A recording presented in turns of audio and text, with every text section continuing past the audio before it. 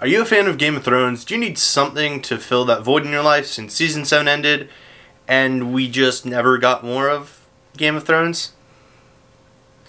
Well, then I'm going to recommend The Witcher on Netflix.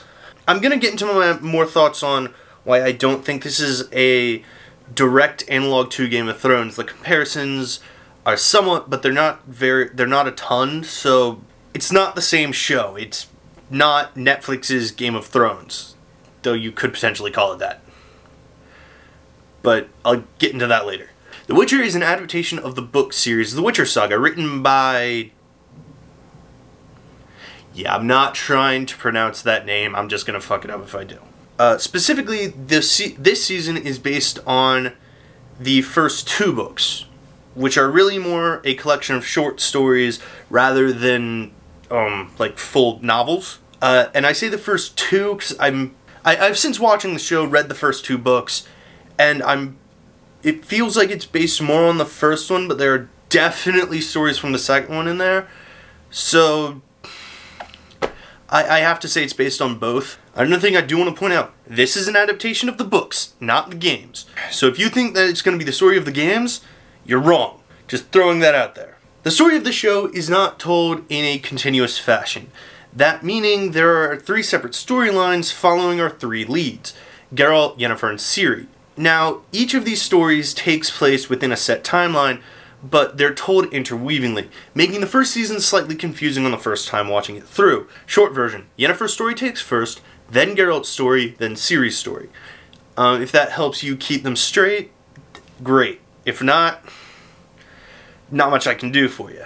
All three stories do converge at the end of the season, but up, leading up to that point is still is slightly confusing on when exactly each of the stories takes place within the timeline.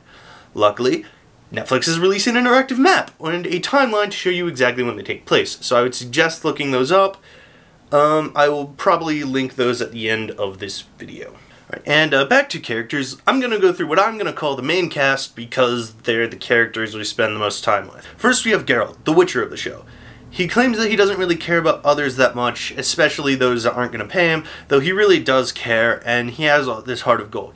He's also bound to Ciri by Destiny, though he claims that Destiny can go fuck itself, though he ends up starting to believe in it by the end of the show. Secondly, we have Ciri, who is on the run after her homeland gets attacked and almost destroyed by the Nilfgaardians. She is bound to Geralt because uh, Geralt saved her father and law of surprise, yada yada yada. And the final main character that we have is Yennefer. Yennefer is a sorceress who literally had her womb cut out so that she could become hot. Where I come from, we call that fucking hardcore. Yennefer is honestly one of my favorite female characters of all time because she gradually goes from doing anything to get power to realizing that she's willing to sacrifice herself for others. Each of the main characters has an amazing arc. Like I just mentioned, Yennefer's is her going from I'll do anything to get power to I want to be happy, I want to have kids. Geralt going from fuck Destiny, it can go screw itself to alright, cool, Destiny's a thing apparently. Ciri goes from effectively thinking that everyone that she has ever loved is this paragon, basically, to realizing that people can be awful and not everyone's good just because of where they were born. They each have an amazing arc, and it's so much fun to watch how they each grow and change over the season. I'm also going to bring up Jaskier, who you may know as Dandelion if you've played the games or read the books. I could not speak as to why they decided to go with Jaskier for the show as opposed to Dandelion, but every time I ever speak about Dandelion, I'm going to call him Dandelion. Because Dandelion's much more fun to say. Other secondary characters of the show include Calanthe, Ciri's grandmother, who she appears multiple times throughout. Mousesack the Druid, he also appears a few times. Uh, Dara, he travels with Ciri for a bit before leaving her because he's like, You're gonna get me killed, and you're like your grandmother, so screw you. Uh, there's also Triss Merigold, she appears in a few episodes. She also looks a bit different from her in game model. Oh, wait, I see it. It's the hair. Only thing that's different from her at all. Other secondary characters that are slightly important too include Eist, I think I'm pronouncing that right, not positive. Uh, Ciri's grandfather. Um, Tissaia, the woman that taught Yennefer. Uh, Stregobor, a wizard who I absolutely despise because he's a bit of a bastard. Renfri, she only appears in one episode, sadly, but she's fairly important because she effectively kicks off Geralt's whole uh, destiny plot thing. Istredd, the fo a former lover of Yennefer, who's fairly important overall. Uh, Cahir, I think I'm pronouncing that one right. Not positive. Uh, he's the king of Nilfgaard, the one that invades Cintra at the beginning. Uh, and last one that I'm going to name because it's the only one that I can remember off the top of my head, Fringilla, the mage for um, uh, Nilfgaard. You remember at the beginning how I said the show had some similarities to Thrones? The number of characters is why. Now, earlier I said that this was based on the books, not the show, or games. So, like the books, this doesn't have a fight every five minutes, unlike the games. So, the show is told mostly through dialogue. And that's not a bad thing. So honestly, if you're expecting the show to be like, ah, die monster every five minutes, that's not what happens. There are actually relatively few monsters within the scope of the show. Um, he fights more humans than he does monsters. In fact, there's even an episode where he defends a dragon from other hunters. So because the show is actually more dialogue, less fight heavy, every fight scene, with an exception of one or two, is really, really, really well done. The only one that I can remember being really wonky was the first one that we see. This massive battle that is a battlefield. It's a lot of shaky cam and whip pans, and so it felt really awkward for me to watch, but at the same time, it also emulates the chaos that is a battlefield. I'm a bit of an amateur swordsman, and so I've been in massive battle type scenarios a few times, and I can very much confirm that that is pretty much what it felt like just a lot of chaos, not really knowing what's going on, who's friend or foe. But it does feel really wonky to me to watch. So that is something to keep in mind. Last thing I want to talk about is the show's soundtrack. That is phenomenal. The instrumentals are freaking great. They're so much fun. I've listened to the soundtrack a number of times since finishing it, and I can guarantee you've heard at least one song off of this soundtrack, even if you haven't seen the show. Toss a coin to your Witcher which is a great song in and of its own right.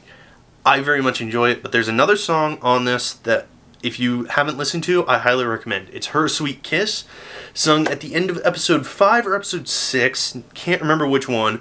It's another uh, Dandelion song, which um, it's pretty much Geralt and Yennefer's relationship, kind of. Kind of like how Geralt feels that he keeps getting screwed by this. It's great song, highly recommend it. Uh, and if you somehow haven't heard Toss a Coin to Your Witcher, highly recommend that as well. It's a lot of fun. It's greatly enjoyable to just listen to, and you will get it stuck in your head and sing it all the time, like I do. Also, I apologize if you have seen the show and do know Toss a Coin, it is stuck in your head now. I apologize, it's also stuck in mine. And with all that I've talked about, I want to get back to the question that I posed in the title of this video, and kind of at the beginning, is this show the next Game of Thrones? I would argue that no, it's not. Now, if you're a fan of Game of Thrones, you are most likely going to enjoy The Witcher. That's just a fact of um, these two shows having similar type plots with similar characters, and just the fact that in medieval fantasy, if you're into that, you're probably going to like the show. But these shows are not direct analogs. They can I don't think that they can actually be compared to each other in terms of pure. They are basically different um, companies' versions of the same show. The Witcher is much more one-on-one, and uh, while it does have three main characters, it tends to focus on a single character and doesn't. The story isn't so massive that you almost need to like look up a wiki to follow it outside of the confusion of the first season, I had no trouble following who, what character was doing what and when. Now, if Game of Thrones, when I watched that, I actually had a lot of trouble, especially my first time through. And I, I don't know if that's a product of me being who I am or what. So I wouldn't say that The Witcher and the Game of Thrones can be directly compared. But if you like one, you're probably going to like the other. Yeah, that's honestly all I have to say. I highly recommend that you go watch The Witcher right now. I if I have to give it a score, I'm gonna say that it easily rolls an 18. So much fun, super enjoyable. A few wonky things about it, but overall, just highly enjoyable show. Great fun, and yeah, Right, I hope you guys enjoyed that video. Uh, sorry it took me so long to get this out. It was just hard for me to make this video feel like it ever felt right. Um, I hope that you guys enjoyed the video. Yeah, if you want to follow me on Twitter and Instagram, links are going to be in the description as always. And I hope that you guys have a great day. And as always, peace out.